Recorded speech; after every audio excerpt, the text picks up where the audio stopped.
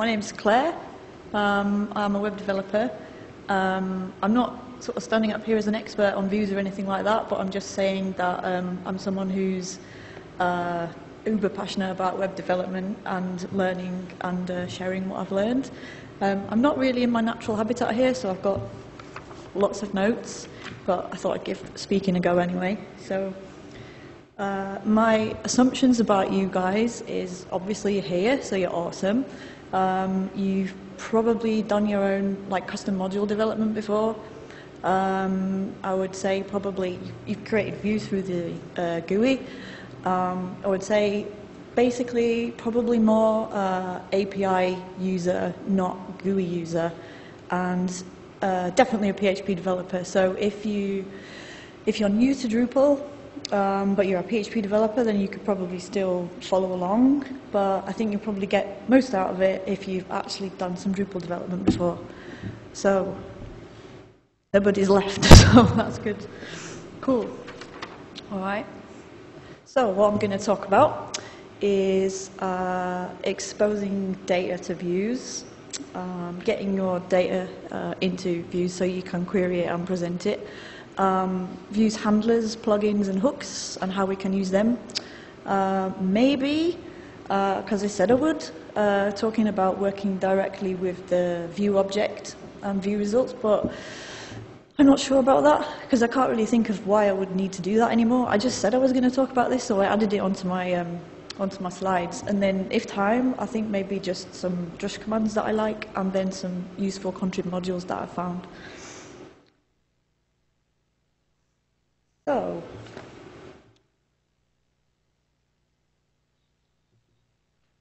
so the first thing you have to do is you have to tell Drupal that you're using views. So the first hook that you need to implement is in your .module file and it's called hook views API and it just says, all right, Drupal, we're going to use the views API. So this looks like, um,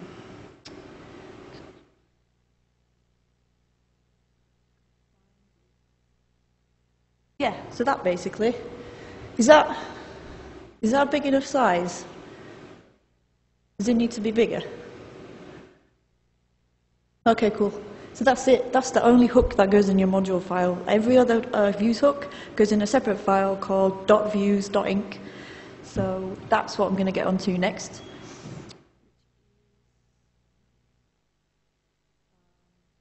Hook views data.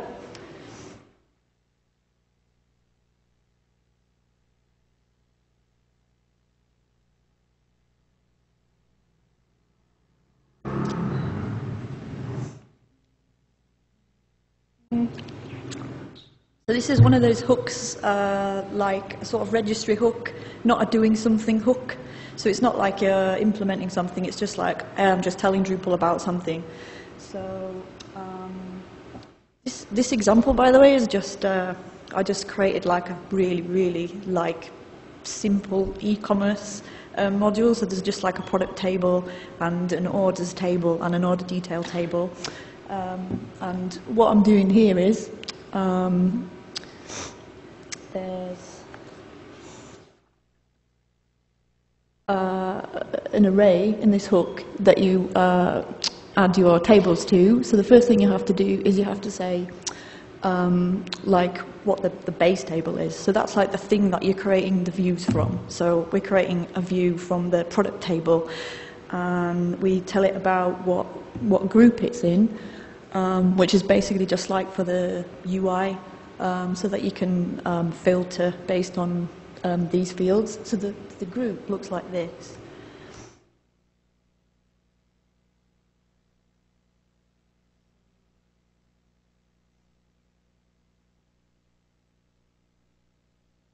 So that's, that's what that does, just allows you to filter the fields that you're adding.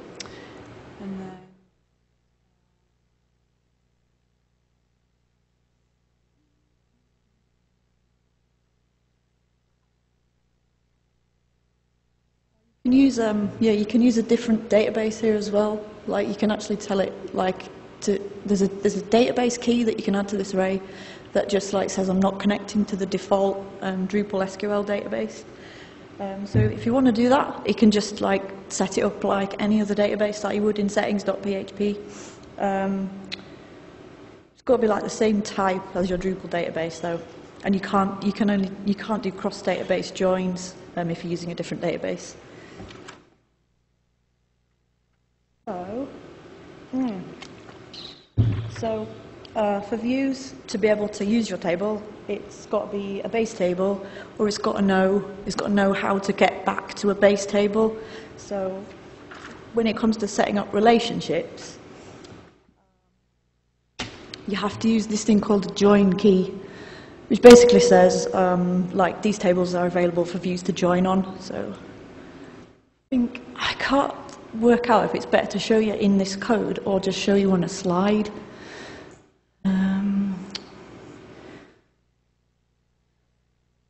So always find loads of code really hard to take in in a presentation. Let's see. Tell you what, hang on.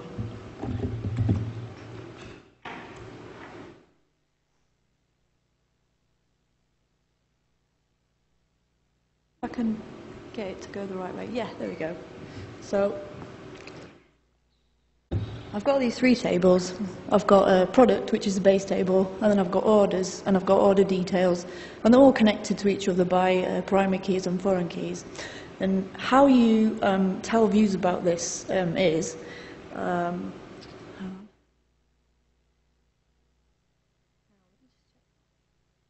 does that look all right? To, can you? Does that?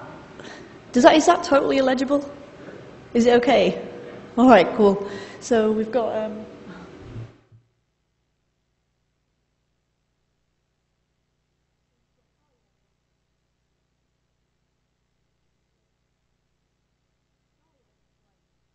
If it's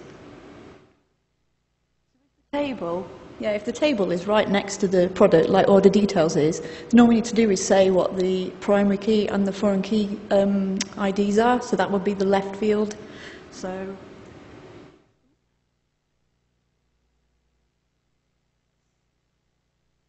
So, primary key on product and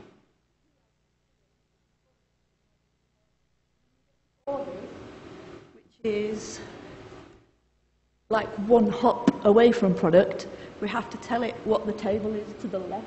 So we always have to go back to the base table. So we've got here. Uh,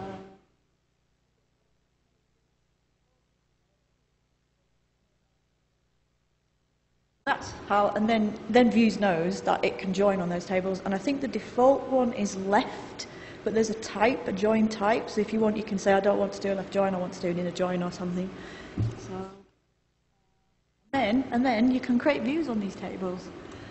So, like I have done.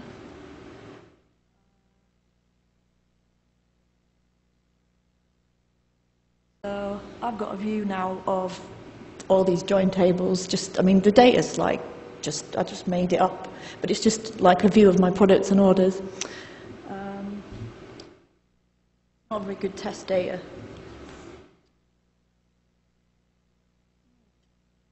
And then, uh, for each field in your tables, uh, we've got these things called handlers. They do stuff on the query, so like uh, filtering and sorting and handling contextual filters, things like that, arguments. Um,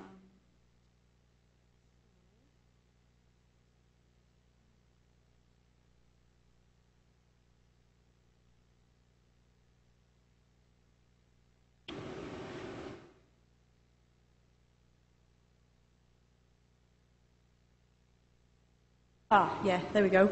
So, like, for example, on this field that I'm telling you about, the product ID, um, we've got um, uh, filter handlers, which is um, uh, like allowing you to uh, it controls how um, you might use this field when you're uh, filtering on it, if that makes sense. And then sort handlers and argument handlers. Um, and then if you want, like, if like say if you're filtering on a particular value, but you don't like the um, the way that filter is exposed, you could customize that, for example. Like I'm trying to like think of, it might be better just to show an example actually. Like like I've got this I've got this like this view here of all these products, and say like I want to um, say I don't know like see all orders for a given product or something like that. You'd filter on a product ID. So yeah, so I'd add filter criteria like.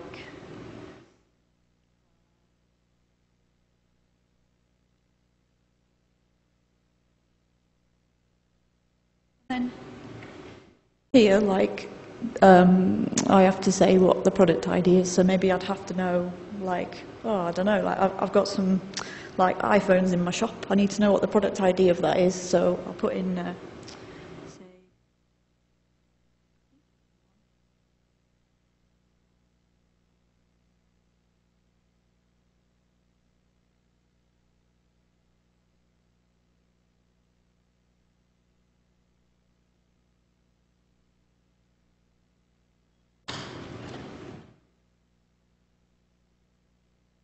That didn't work.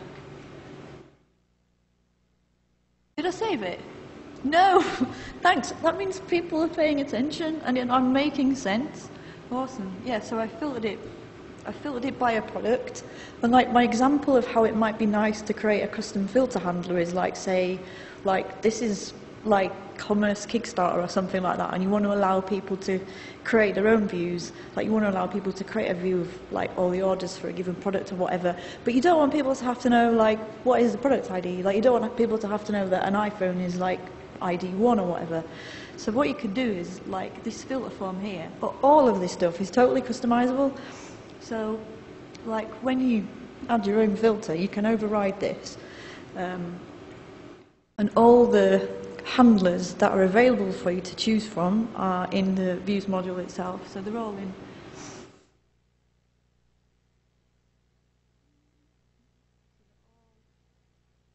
They're all in here.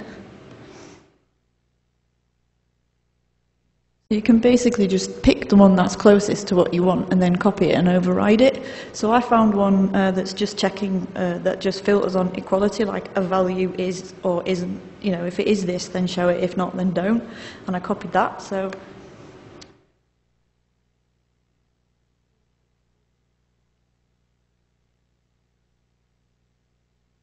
yeah, so we've got this form um, which is like an exposed filter form, and it's it's got a text field. So you just you just put in a value in there, and, and then that will be the thing that filters the view. So I'm overriding this form um, to make it a little bit nicer for people building product views. Um,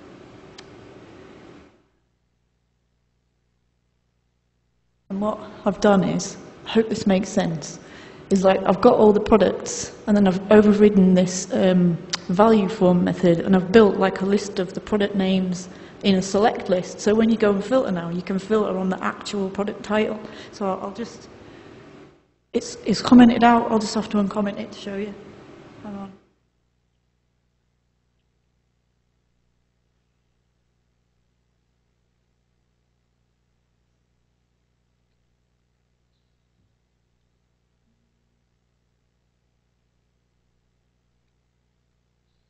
All right. Yeah.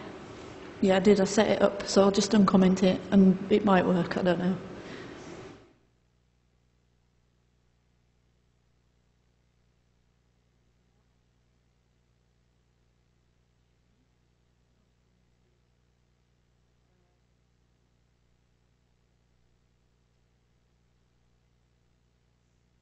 And the custom handler just lives in the, the you know the custom module directory. I've put it in its own views directory, but that's not a requirement. So it has to be any any like extra plugins that you create and stuff, and handlers have to live in the info file. They have to be included. So I'm going to do that as well. And then. I don't, I don't actually know if I just go back to the view it will work, but I'm going to try might have to recreate a new one. I remove it.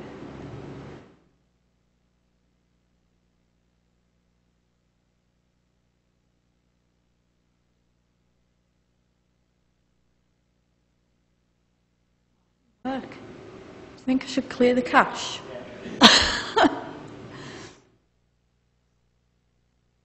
You've always got to clear the cache, haven't you? Even if it's just superstitious.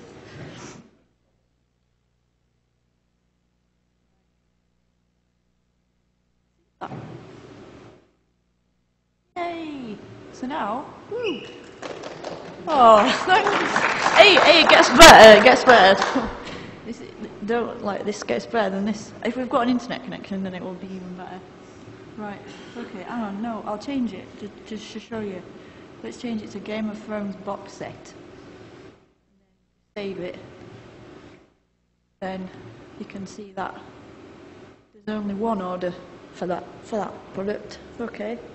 Uh, there's lots of different types of handlers. Um, uh, if I can find the PowerPoint.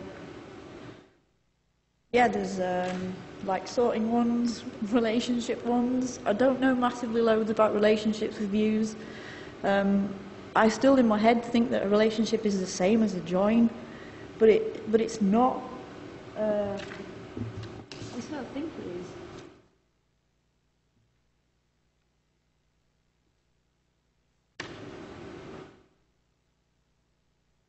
Um, but I, yeah, I don't really have anything else on handlers. Um, one thing I did, one thing I do have in my notes is um, like as well as as well as using that um, hook views data to expose um, if you've got custom entities, like um, if you're registering an entity with hook entity info.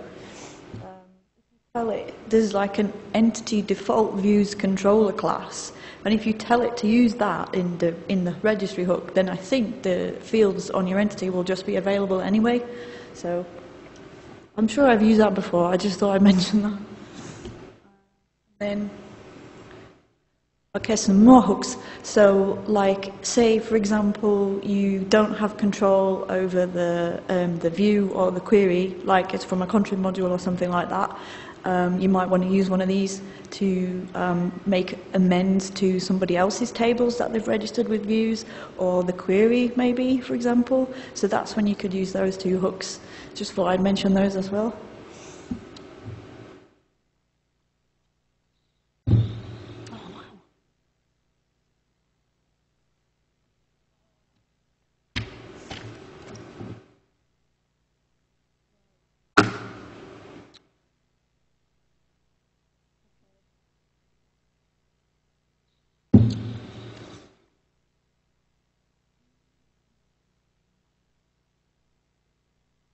Okay, right. So now we're getting on to the more exciting bit. Um, plugins, um, they're kind of like handlers um, in that they do stuff to views, but um, I'd say that they're not like view um, handlers. I see as being more like operating on the data and the query, and I see plugins as being uh, like they, I don't know, like they seem to have like a, a broader scope. Uh, they do more, they do more stuff basically. Um, like a really like there's different kinds. There's like display plugins. Um, the, the query plugin is the most interesting one to me because that's the one that actually like tells views what like what the back end is. And, like you can change the back end if you want. You don't have to use the default SQL database. Um, like the, there's a really nice example actually of a contrib module called. Does anyone know Entity Views Attach? Like, I absolutely love that module. Like, it's so nice. It just does one thing and it does it so well. It's just like, um, in a, it's a display plugin, but like, in a nutshell, like, what it does is like, it extends the um, Views plugin display handler um, to add options to the view builder form. Uh, so we can associate this view with a particular entity and particular bundle, and then it turns the view into a field so um, on the entity in question, um, using hook field extra fields, I think. So it's basically like a view is a field. Like that's just ace. Like I really love that module. Um, so I thought about doing a demo of a plugin, and then I thought like which one shall I learn about, and like which one is the most interesting. And out of all of these, it's definitely the query one. So um, uh, I decided to do another demo. Um, hopefully it will work uh, which was uh, doing like an alternative backend for views where I'm going to try and query the Twitter API. Um, so I don't really have time to go into all of these different kinds, so I'm just going to focus on one, I think. Um, so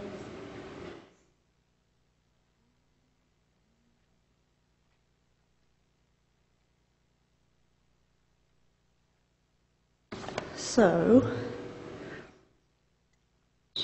um, what we're going to do is uh, directly build a query with views and then uh, send it to the external API, the Twitter API, and then present the results on the front end. Uh, by the way, full disclaimer, this is taken from a Lullabot tutorial that I found by uh, Greg Dunlap, who I think is HeyRocker on Drupal.org. So I just read it and I liked it, but they did it with um, Flickr, but I thought I would change it and do it with Twitter API. So I'll just go through it.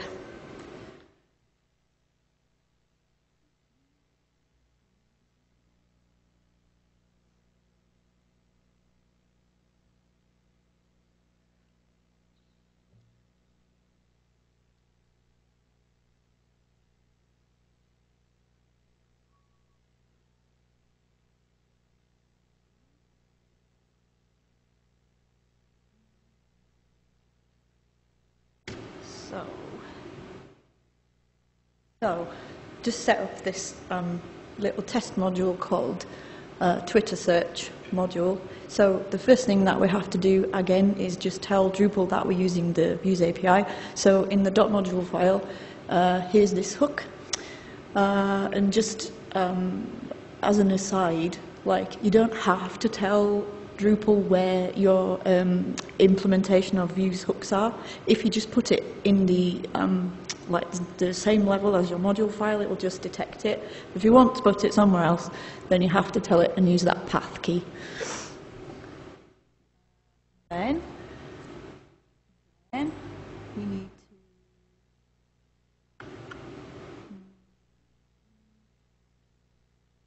We need to describe our plugin to views. So we just do that with another hook, um, hook views plugins. Uh, we just say we're going to um, use this custom query um, handler here. That's all that's doing.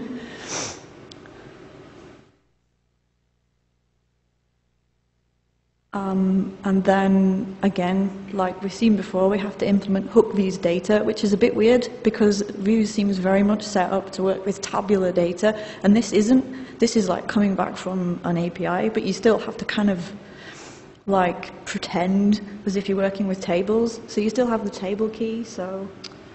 Uh,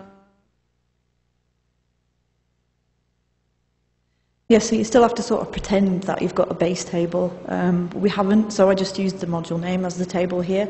And then I've got two fields that I want to present. I want to present the, the main body of the tweet, which is um, just, it's actually in the response, it's called text. And then the username the person who made the tweet. So, um, and then, ah, there's two extra things that you have to do. Like, because these aren't actual SQL uh, database tables, you can't use the normal field handlers, so you have to override and create your own custom field handler for this as well, which is a bit weird. Like, but hang on. So I'll just I'll just explain that briefly. It's not. I don't exactly know what this is doing. All I can say is the only thing that we're doing. Uh, there's a lot of uh, table-specific functionality happening in this query method, and this just stops that from happening. So I haven't even, probably, I don't know, I could comment it out and it might still work, but, so yeah. But I don't really know what this, this is.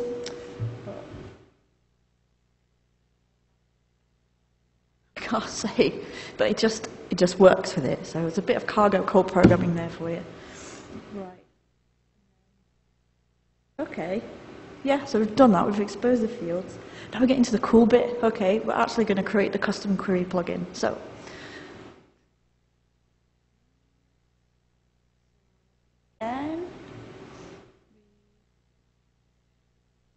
we include it in the info file. That's um, Twitter search plugin query.inc. And then we create our own implementation here. And then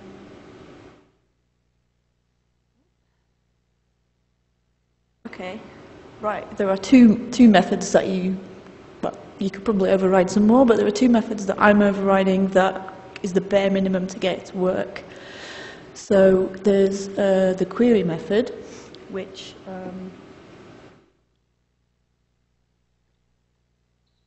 I think is actually building an SQL query, or there's lots of SQL stuff happening in there. So we just want, we don't want anything like that. We don't want anything like that to happen. So we just override it and don't do anything in it. And then the execute method is like the bit that's actually getting the data. So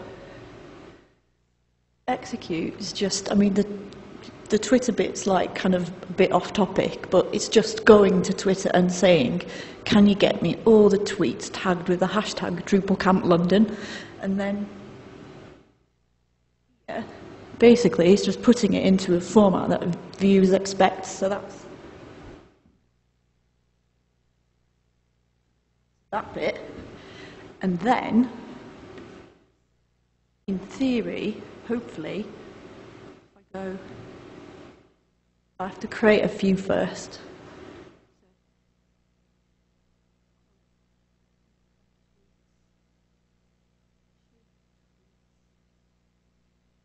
Create a page.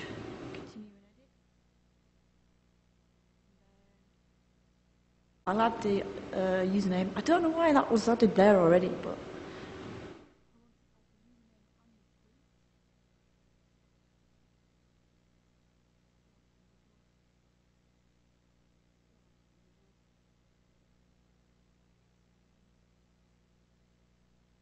Right, come on, work.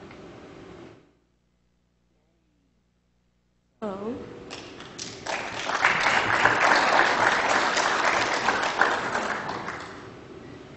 so the, the really cool bit is like, because I've um, just, I think I might be running out of time actually. I want to show this bit as well. I'm on 28 minutes, so I'm all like I've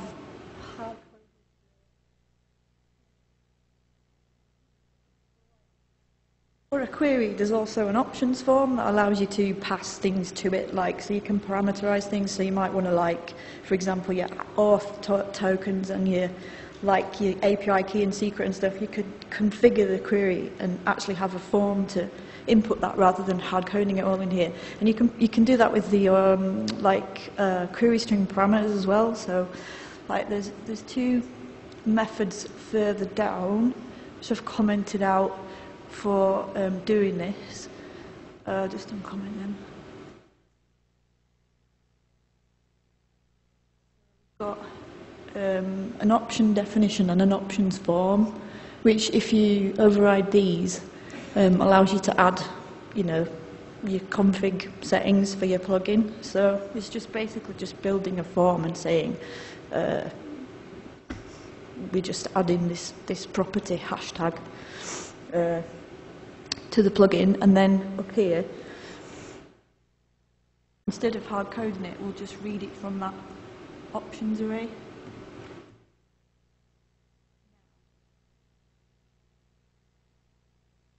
Doesn't look right. I commented out something wrong. Oh yeah, no. Couldn't even see that. Right. Comment out this one, isn't it? So, I'm just going to do a cache clear. Right. Wonder, will it work?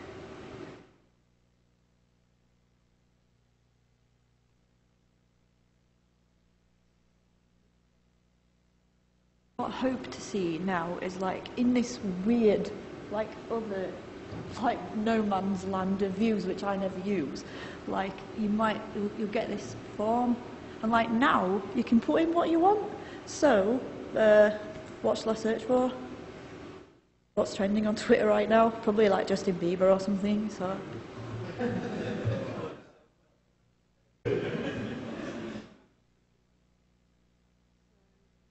Sorry. Right. Hopefully now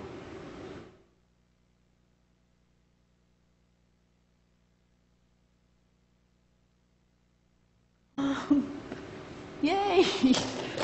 Happy birthday, Justin Bieber! okay.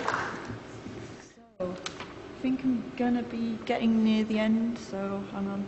I want to leave some time for questions, but I have some more slides. Uh, hmm. Yeah, this one, this is weird. Like, ages ago, I remember needing to do this. Like, I remember maybe, like, it might even have been in Drupal 6 days.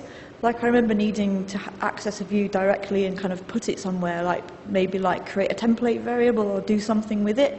But, like, especially with stuff like entity views attach, where you can do all of the sort of layout of a view and like the, the granularity of it being a field. Like I don't actually need to do this. Like, but I just thought I'd mention it because not, I don't know. Does everybody know that you can do that? Like in your code, you can use these methods and actually access a view object, and then you can you can call views get view result, and that'll give you like the I think just like a big blob of the HTML of the view result. Does it? Does anyone? Why would you need to do that? I don't know. Yeah, I don't know.